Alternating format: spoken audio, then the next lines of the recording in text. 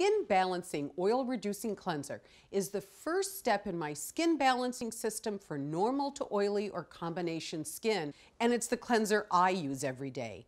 It is formulated to provide gentle yet thorough cleansing with a light lather that removes makeup and excess oil, leaving skin feeling refreshed, smooth, and balanced. To use, splash your face and eye area with tepid to slightly warm water. Then apply a small amount of cleanser using vigorous but gentle circular motions. Rinse well. You can also use Paula's Choice Gentle Touch Makeup Remover to remove stubborn eye makeup and waterproof mascara. For truly impressive results, use it as part of my skin balancing system for normal to oily combination skin.